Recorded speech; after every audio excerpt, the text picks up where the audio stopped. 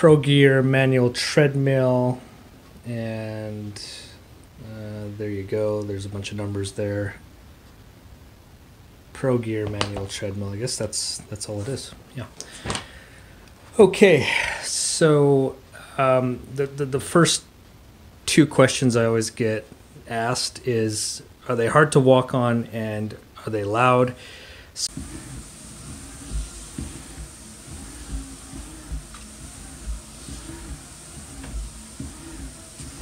Okay, so that's how loud it is. Um, it's not too bad. Uh, once in a while, it it buzzes a little bit, but you know, uh, I guess that's just uh, the nature over time. Oh yeah, I've had this for about two years now. uh, second question usually is, are they hard to walk on? So the setting it's on right now is at seven percent, and the there's two other settings which can be at set to eight percent or nine percent. There's the manual right there, so it can go to seven percent, eight percent, and nine percent. Okay. I would put this in the medium to hard range. Um, you know, you got your body weight going. You've got um, uh, there's there's no uh, momentum generated by power, so it's all manually done. So yeah, it's it's not very easy to walk on. If you're looking for like just a normal kind of simple style walk, you may want to look at an electric treadmill. So manual is definitely uh, a little bit harder. Okay, so let's check out the apparatus. So this one here, yeah, you can see here it's got the two handles. Uh, it's got a like a digital display. Down here, it has two flywheels, um, and then of course the tread, and then of course it's set at an incline, and then um, back here, uh, we'll talk about the adjustments later in the video. Up here, this is your display, and I'll just go through. So scan. Here, I'm just gonna. There you go. Scan. Let me do that. There you go. Scan speed, distance, time, calories, and your odometer. And uh, there's the Progear. So when you're on this to reset it, you just hold it down, and then it resets. Then you can go. Uh, you have to make sure you're walking a little bit. Okay, so um, my biggest issue. So after two years, this is this is done very well uh, for me. Uh, the only issue I ever had with it that was kind of a reoccurring issue was adjusting this tread right here. So you can see here, it's in the middle. I guess here, hold on. Yeah, right here, you'll see right there and right there, you can see it's in the center. So to keep this in the center, there's two adjustments right here and right here, and you need an, an Allen key, and you need to adjust it so it stays in the center. That is not easy to do. Um, they talk about quarter turns and stuff like that, and yeah, for me it was um, still very difficult to do.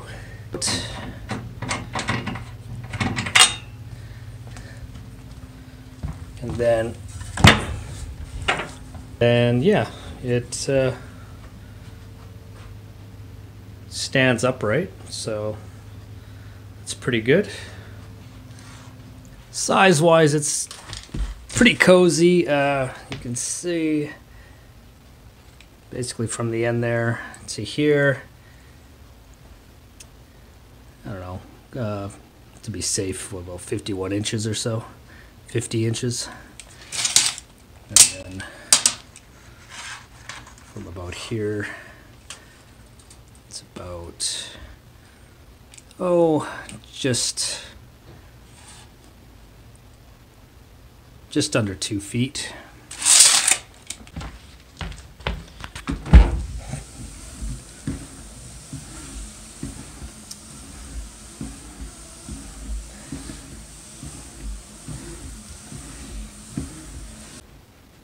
The construction is fine. Right here, The only thing I would probably want is to put some sort of water bottle holder or something on it.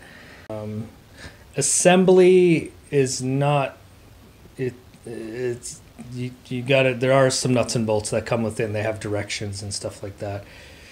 Uh, I'd put that in the medium category. So right here, you'll see there's a like a small wheel, and there's one on the other side. Uh, I had this in my basement. And I had a white floor. This Did mark it up, so it left some black marks. So I'm not sure if that's just with this model, but um, yeah, if you're gonna roll it around, be careful. This from Amazon, and when it shipped to my house, it was the box was really heavy and it was fairly large. Uh, I did it by myself, but if I were to go back in time, I would have somebody help me with it. So it, it this is not a light device. This is uh, pretty heavy. So yeah. So the bottom line for me is would I buy this treadmill again? And the answer is I would not. Uh, reason being is I've ruptured both my Achilles tendons, left and right, over the last 10 years or so.